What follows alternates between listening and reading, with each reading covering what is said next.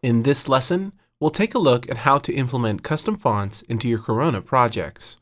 Fonts are widely available across the internet at sites like fonts.com and dafont.com. When using a font, be sure that you have a license to use that font in your project. In this lesson, we'll be using two custom fonts. One font is a display font called Boris Black Bloxx.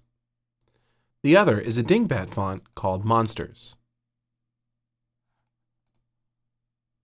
Before we can use these fonts with our project, we need to create a file called build.settings and store it within the root directory of our project. We'll go to File, New File, Empty File, Next, Build.settings, choose the project folder,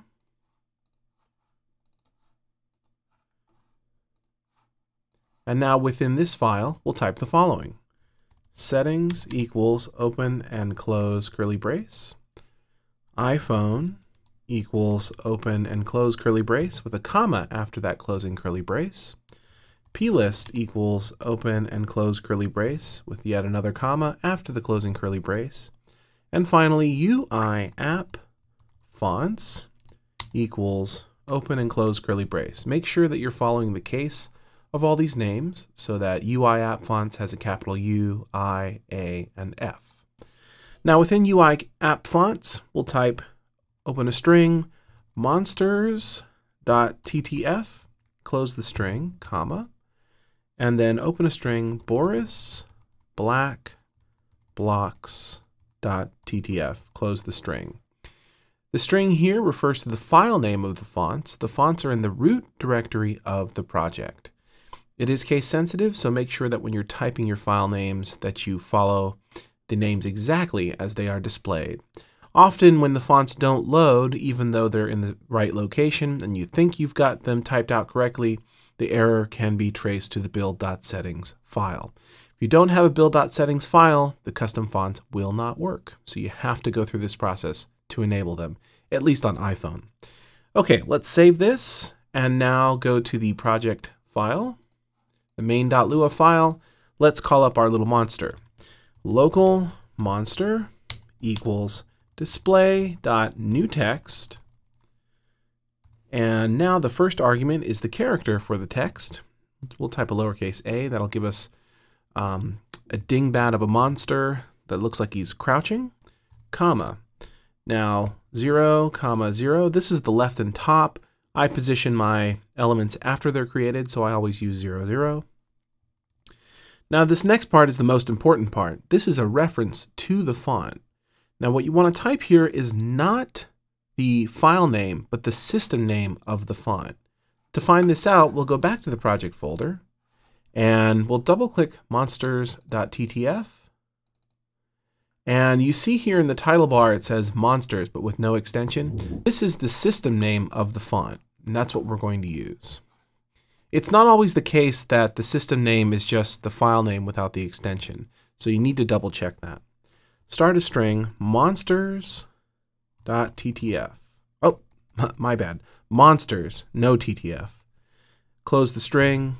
Now the size, 120.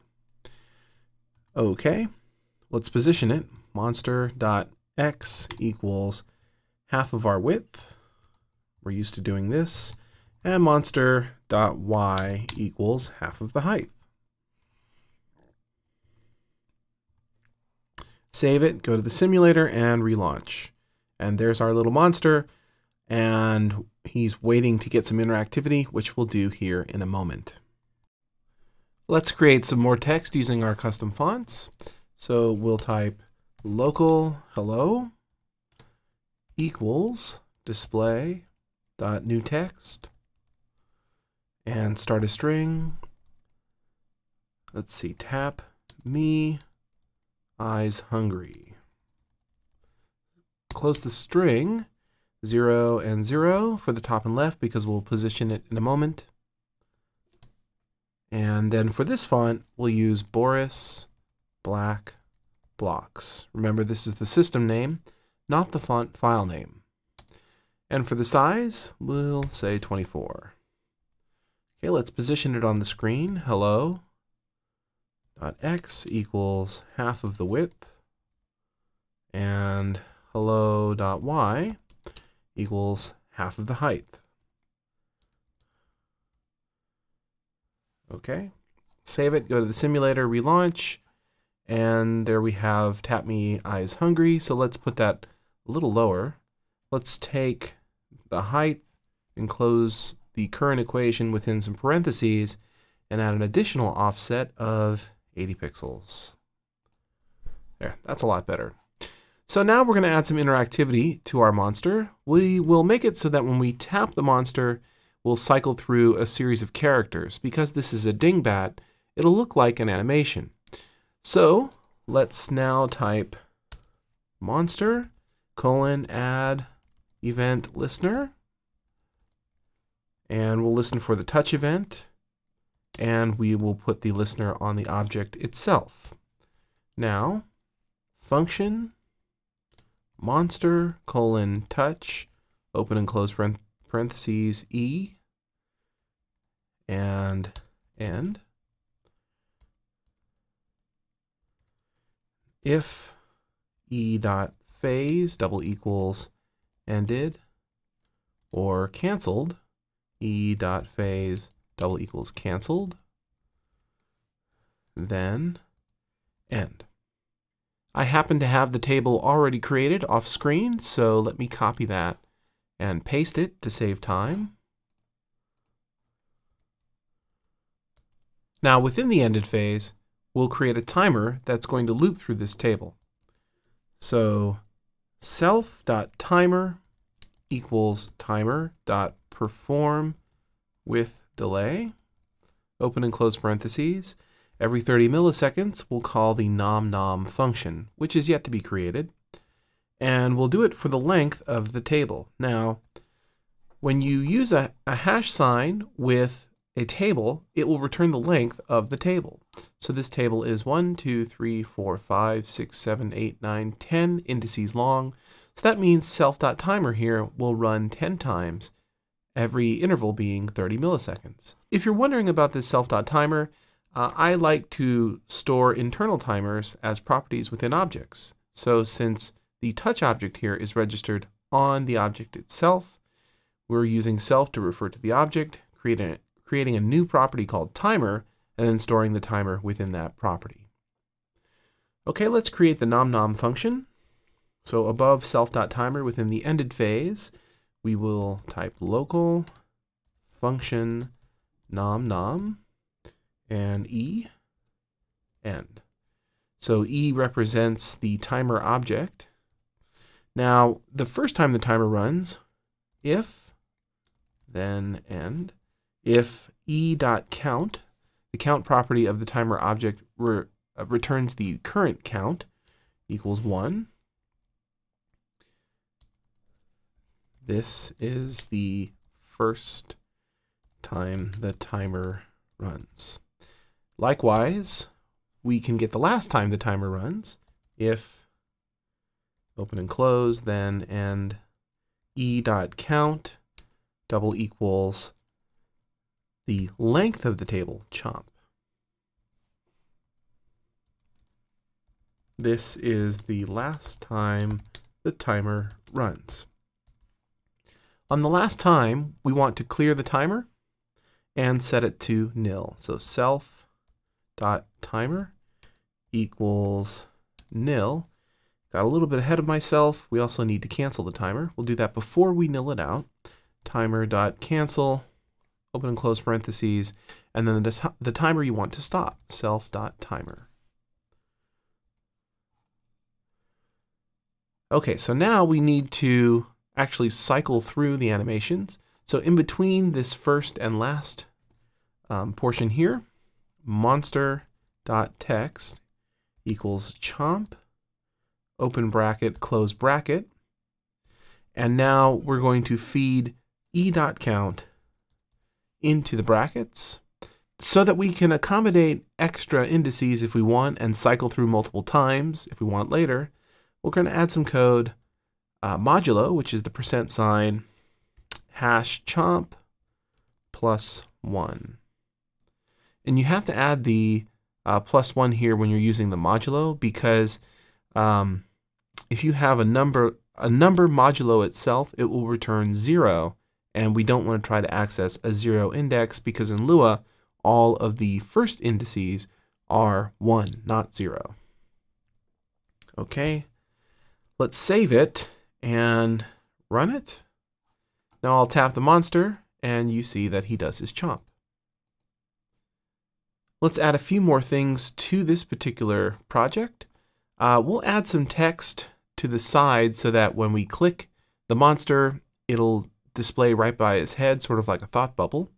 So local nom equals display dot new text and open string nom nom zero zero Boris Black Bloxx. Remember that's the system name, not the file name. And we will use the size of 12. Okay, now let's position it. nom.x, we'll position it relative to the monster, equals monster.x plus 60 pixels to the right. nom.y equals monster.y, same y as the monster. Let's rotate this text a little bit. nom.rotation equals negative 15 and save it. Let's relaunch. Oh, looks like we have an error. Let's check it out. Line 32. Uh, line 30. Oh, I forgot the comma just before the font name. No problem. Save it and relaunch. So now we'll make it so that when we tap the monster, Nom Nom will appear only when he's actually opening his mouth. So let's set nom dot is visible to false. And now this is why I added this line down here within the nom nom function, if e.count double equals 1. So what we want to do is on the first count, we want to show this text, nom dot is visible equals true. So now we can see the text. And on the last count, we want to hide the text. So nom dot is visible equals false. Okay, let's relaunch, tap him, nom nom, and now what I've done also is I've created a sound that we can load. So we'll do this right before monster, local nom sound equals audio dot load sound, open and close parentheses, media forward slash nom hmm. dot AIFF. All right, and so we'll have it play at the first count, audio dot play nom sound. Okay, let's launch it. Nom nom. And there we go. So now every time we tap the monster, we're cycling nom, through nom. some animations here. And the animations are deceptive. These are really just different characters. If I changed the font, we would see these letters cycle through instead of uh, the different letter forms. But since we're actually using a dingbat font, which is a graphic um, that's mapped to a character, we can sort of fake out an animation. And so within the touch function, on the ended phase, I create a new timer and store it within a custom property called dot .timer that is on the monster object itself. That timer then runs the length of the animation table with an interval of 30 milliseconds between frames and calls this custom function nomnom. Then here within nomnom, I use the, the dot count property of the e object here, which is representative of the timer, in order to cycle through the table using um, the table name and then e dot count fed into um, the table index. And then on the first and last um, portion of the timer, I en enable the uh, visual to be seen, play the nom nom sound, and then hide the visual of the uh, text, cancel the timer, and then set the timer to nil. And when you use timers, you want to really be sure that when you're done with them, you cancel them, and then you nil them out. One final change that we can make is the addition of some code to accommodate for iPhone 4 Retina displays. We'll do the following to each of the new text objects. Where the size is located within the constructor, we'll type times 2. Now, with each object, just under, underneath the constructor, we'll type monster dot x scale equals 0.5 and monster dot y scale equals 0.5. We'll repeat this for the hello and nom objects. Hello dot x scale equals 0.5. Hello dot y scale equals 0.5. Now let's do it to the nom object nom.x scale equals 0.5, nom.y scale equals 0.5. What we're doing is we are taking the size that we would like and multiplying it by 2. Then we are scaling by half the total size of the object. This allows for double the pixels in the same area.